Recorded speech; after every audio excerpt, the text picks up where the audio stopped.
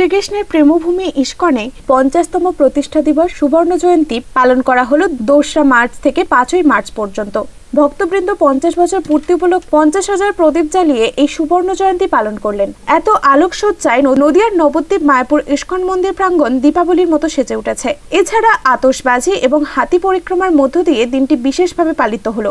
দেশ বিদেশ থেকে বহু ভক্তবৃন্দ এই দিন মন্দির প্রাঙ্গণে উপস্থিত হয়ে আন্তরিকতার সাথে এই দিনটি পালন করলেন এবং সপরিবারে অনুষ্ঠানে যোগদান করলেন। শনিবার রাতে যখন পঞ্চাশ হাজার প্রদীপের আলোকসজ্জা শুরু হয়, তখন বিভিন্ন বিদেশি নামাবলী ধারণ করা শিশুরা হরে কৃষ্ণ মহামন্ত্র জপের সাথে হাতে প্রদীপের মালা নিয়ে পুরো ইস্কন মন্দির চত্বর পরিক্রমা করল।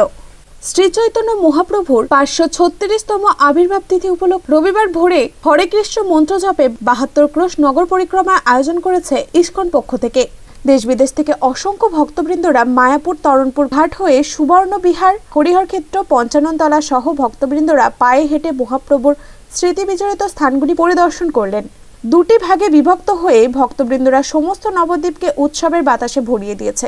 আসন্ন দোল পূর্ণিমা উপলক্ষে এবং শ্রী চৈতন্য মহাপ্রভুর পাঁচশো ছত্রিশতম আবির্ভাব তিথি উপলক্ষে একটি মিলন উৎসবের মাধ্যমে সারা বিশ্বব্যাপী ভ্রাতৃত্ববোধ জাগ্রত করার উদ্দেশ্য বলে জানান মায়াপুর ইস্কন মন্দিরের সংযোজক আধিকারিক রসিক গৌরাঙ্গ দাস মহারাজ।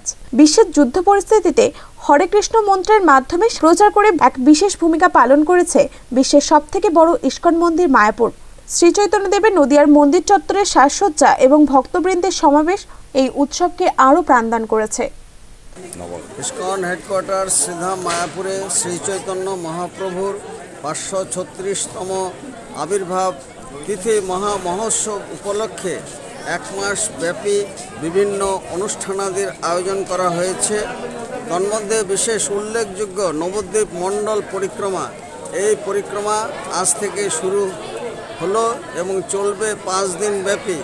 কয়েক হাজার ভক্তবৃন্দ শ্রী চৈতন্য মহাপ্রভুর স্মৃতি বিজড়িত স্থানগুলো পায়ে হেঁটে পরিভ্রমণ করবেন এবং দশই মার্চ সমস্ত ভক্তবৃন্দ এখানে সমবেত হবেন। এই উৎসবের প্রধান উদ্দেশ্য হচ্ছে লাভিং এক্সচেঞ্জ এবং বিশ্ব ভ্রাতৃত্ববোধকে ছড়িয়ে দেওয়া। আমরা প্রার্থনা করি ভগবানের কাছে ওয়ার্ল্ড পিস অ্যান্ড হারমোনি, বিশ্ব শান্তি এবং সংহতি। রসিক গৌরাঙ্গ দাস, ইস্কন মায়াপুর, জনসংযোগ আধিকারিক, নদিয়া। নদিয়া থেকে মাধব দেবনাথের রিপোর্ট আনন্দ বার্তা